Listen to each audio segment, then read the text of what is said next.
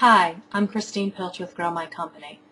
Ever since I uploaded a recent video about setting up privacy settings on Facebook, I've received several inquiries from people about a reference that I made to setting up friends groups.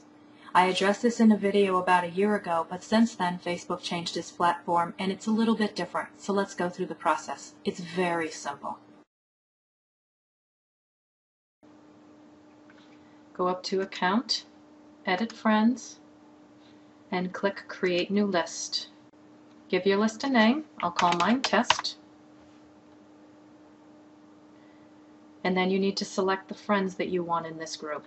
I'll just select the first three that show up here and click Create New List.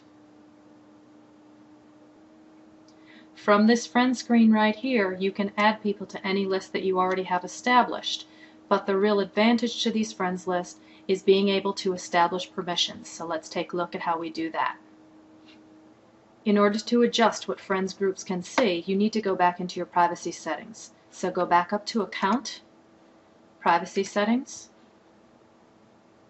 and as I told you before, all of these things are customizable. So let's go back into Information and Posts.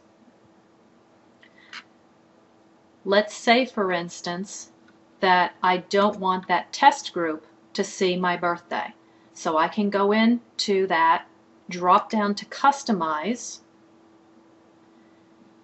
and where it says Hide this from, I'll just type in Test. That group is right there. I'll save the setting. Now let's see how that worked. Click right here on Preview My Profile. I'm going to type in this box right here, Mo, because she's one of the people that I added to that test list. As you can see right here in my personal information where my birthday should be, it's missing, so she can't see it. But if we go back and type the name of somebody who's not in that restricted list,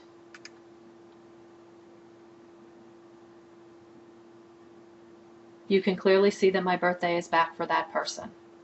So that's how you set up a friends list, and that's how you restrict people from seeing particular things in your profile.